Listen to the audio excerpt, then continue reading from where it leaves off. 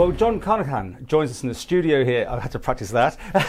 John, you're over to talk um, about crime, prevention of crime. Yes. You've been talking to um, various people I know, and, to, and you also got the House of Keys members coming in. Yes. You're an ex-cop. Yes. From where exactly? Obviously Scotland. Yeah, Strathclyde. I was I was a detective chief super in uh, Strathclyde, and a tough place. it was. It's now one of the safest cities in Europe. That's only Glasgow is changed. one of the safest cities in Europe. Yeah, well, that's fantastic. So prevention. T- tell us more. What what exactly you you you trying to tell everybody? Well, our, our journey in Scotland was uh, exactly the comment you made at the start. Glasgow had a reputation for violence, which was well earned. Um, and in 2004, uh, along with a colleague, I established a unit called the Violence Reduction Unit. We used public health modelling to reduce violence, and um, it was hugely successful. Um, the model, not just the Violence Reduction Unit, because it was about health, education, social services, communities, individuals, third sector. The point was, um, if we had left it as a crime issue, only police would have been dealing with it. And police deal with the point of impact. They deal with the failure demand. There's failure in lots of places, and the, the end point is often the police or an A and E department or a social worker's desk. So we, along using that public health model, started to think far more about primary prevention. Okay, but that's one of the toughest areas, or was. The Isle of Man has no crime. We have milk cartons Absolutely. taken, and you know this is the safest place to be. So Yeah. what can you be doing Well, here yeah, for us? absolutely. And I think that's the positive. Uh-huh. Um, if if you were just sitting back and saying, well, compared to the rest of the place, we're okay. Mm-hmm. If you have one victim of violence, you ask them if they feel it's a good thing. It's not a good thing.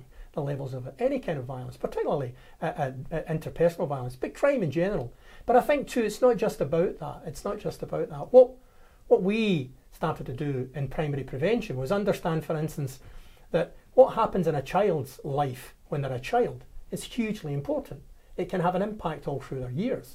Adverse childhood experiences now has been talked about all over the world, um, where an adverse childhood experience and the numbers that they have in their childhood can impact on how they end up in care, for instance, how they end up in prison, how they end up with addiction problems. So these are all shared agendas. These are all problems that are not just problems for the police and challenges for the police, but challenges for the health service, challenges for social work, challenges for care, um, challenges for communities that want to thrive and do well. Um, they want everyone to do well, and I think that's the message that we're bringing. That um, this is a it's everybody's issue, and we need to work better together, and that's about relationships. Is it a mindset then? Is it the way people Oh think yeah, about things? absolutely. That when we started to speak about violence in terms of health, and we spoke about contagions, and we spoke about epidemic waves, and we spoke about primary and secondary prevention, this was new language. Yeah. So when I was asked once if a thousand extra police officers would make a difference, I said yes, it would. I said, but a thousand extra health visitors would be a really clever thing to do, because if we help families to be as good as they can be, and we help children to have a really good early years experience, then we'll have fewer people in the care system, fewer people with addiction problems. A whole So prevention rather than cure, isn't it? Absolutely, it's the only cure. How is Isle of Man policing? Have you had a chance to see how it's done here? Yeah, well, I spoke to to um, some of the, the command team yesterday, and, and Stuart meeting the chief constable later. Um, yeah, it's it's it's refreshing and at the same time it's disappointing that the challenges around the place are the same for everyone.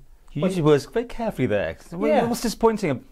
Because the, the challenges that we faced were about working in partnership, were about sharing information.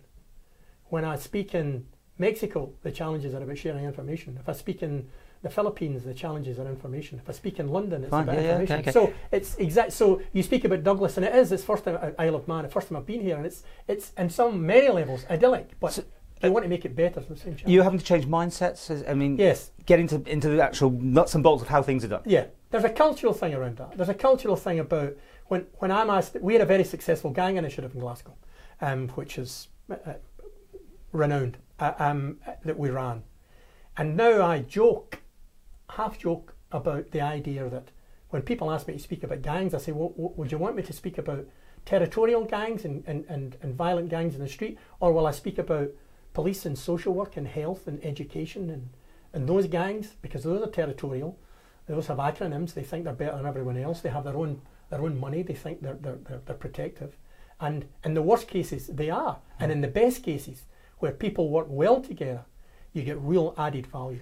Do you find you get a reception that's positive from these Yes. audiences, or, or you got these, you know, the old guard going, Uh, no, yeah, you're trying to tell us something, you know, suck Yeah. eggs and all that sort no, of I, I, I always get nodding heads and people coming up saying thanks for saying that because I often find that everyone gets the strategy. I mean, if, if- even when I speak to politicians, and I've spoken to loads of politicians, um, we've got a national unit, um, they get it. No politician wants to do the wrong thing. Everybody wants to do the right thing. No mother, when they have a child, says, "I'm going to make your life a bloody misery." They don't do that. Sure. Um, but it happens, so we need to work out how that happens. You're very inspirational. Very good. I'm enjoying this. Um, people got more information. Can get uh, your website or details of what you do. Yeah, well, no, no, well, not not so much now. No? But if they go to the violence reduction unit, uh, um, action and violence, uh, um, they will they will find all of all of the things that, we, that we've done there. I mean, and I know it's you know the Isle of Man. You you have your own uh, uh, challenges over here. I expect that. Um, I mean, one of the challenges will be, for instance,